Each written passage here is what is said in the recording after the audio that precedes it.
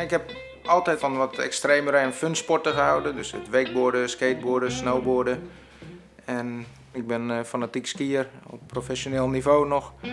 Uh, in de zomer hou ik wat van wakeboarden. Ik, uh, ik heb weinig te klagen de laatste tijd eigenlijk. Je moet gaandeweg leren wat weer je mogelijkheden zijn. En het heeft mij, ja, eigenlijk vanaf het begin heb ik een positieve instelling gehad. En ik heb geleerd dat er ja, toch nog een heleboel kan. En als je wat doorzettingsvermogen hebt, ja, dat je ook je wereld nog, uh, nog heel veel uh, kan uitbreiden en nog heel veel dingen kan doen.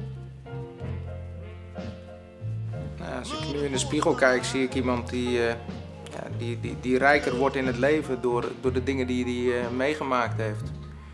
Dus ja, ik denk dat ik nu wel trotser op mezelf ben dan tien jaar geleden. Sterker nog, ik heb meer bereikt dan dat ik ooit had durven dromen. Ik denk als ik later kinderen heb, dat die uh, wat mij betreft mogen doen wat ze willen.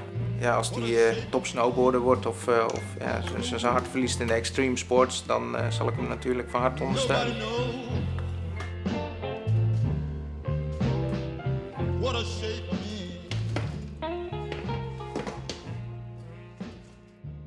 My wife. have left